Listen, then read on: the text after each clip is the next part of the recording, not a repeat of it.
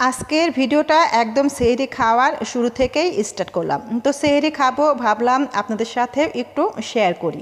তো গরমে আসলে কিছুই খেতে ভালো লাগছিল না। তো এখানে আমি কিছু ভাজি টাইপের রান্না করেছি। মানে এখানে লোটটা মাছ ভুনা করেছি। সরি লোটটা শুটকি যেটা, সেটা ভুনা করেছি। আর রুই মাছ রান্না করা ছিল, সেটা বের করেছি। আর এখানে হচ্ছে ঢেঁড়স আর পটল দিয়ে একটা ভাজি করে নিয়েছি। তো প্রচণ্ড গরমে আসলে কিছুদিন হলোই অতিষ্ঠ লাগছে। তো যাই হোক, গরমে আসলে কিছুই খেতে ভালো লাগছে না। তো সেজন্য আজকে ভাবলাম কোনো মাছ, মাংস কিছুই রান্না করব না। তো সেজন্যই একটু হালকা টাইপের রান্না বান্না করেছি। আর এই যে এখন আমি বিসমিল্লা বলে ঢ্যাঁড়স আর পটলের যেই মিক্স একটা ভাজি করেছি, সেটা নিয়ে খাবারটা শুরু করলাম। তো এই তো সবাই একসাথে বসে সিহিরি খাওয়া শুরু করলাম।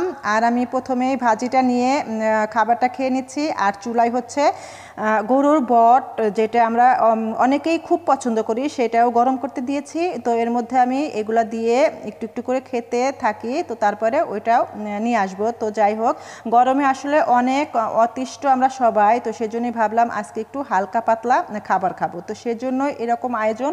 আর হচ্ছে ভাজি খেয়ে এবার আমি যেটা নিয়েছি, সেটা হচ্ছে লোটটা শুটকি ভুনা।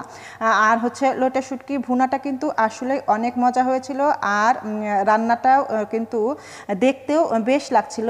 আর দেখেন একদম আচার আচারের মতো হয়েছিল। তো যাই হোক মাছটা ভুনা করা আসলে অনেক মজা হয়েছিল। বেশ মজা লাগছিল খেতে। মাছ, মাংস থেকে কিন্তু আজকের খাবার দিয়ে আমি অনেক বেশি ভাত খেয়ে নিয়েছি। আর এখানে হচ্ছে ওই যে বললাম, গরুর বট গরম করতে দিয়েছি। তো মাছ আর হচ্ছে ভাজি খেয়ে এবার গরুর বটটা দিয়ে আমি একটু ভাতটা খেয়ে নিব। আমি রুই মাছ খাব না, ভালো লাগছে না রুই মাছ খেতে। তো এগুলো দিয়েই আসলে আমি অনেক ভাত খেয়ে ফেলেছি, আলহামদুলিল্লাহ। আর এখন কিন্তু আমার প্রায় ভাত খাওয়া শেষ। তো মাসাল্লাহ লোটটা মাছ, ভুনা, আর ঢেঁড়স আর পটল ভাজি, আর বট দিয়ে অনেকগুলো ভাতই খেয়ে ফেলেছি। যদিও কয়েকদিন হলো ভাত খেতেই পারছিলাম না। এক খেতে গরম আর হচ্ছে সেহরিতে এমনিও খেতে ভালো লাগে না। তো মাসাল্লাহ আমার সেহরি খাওয়া শেষ। আর সেহরি খাওয়ার মানে ভাত খাওয়ার পর আমি যেটা করি এই যে জেলাপি দিয়ে, দুধ দিয়ে ভিজিয়ে আমি ডিপে রেখে দিয়েছিলাম। তো খাওয়া শুরু করার আগে আমি এটা করি যে সেহরি খাওয়ার আগে আমি দুধ দিয়ে, জেলাপি দিয়ে ভিজিয়ে ডিপ ফ্রিজে রেখে দেই। খাওয়া শেষ হতে হতে এটা ঠান্ডা ঠান্ডা হয়ে যায়, খেতে কিন্তু বেশ লাগে। তো এইভাবে জেলাপি ভিজিয়ে দুধ দিয়ে খেতে কার কার ভালো লাগে অবশ্যই আমাকে কমেন্টসের মাধ্যমে জানাবেন।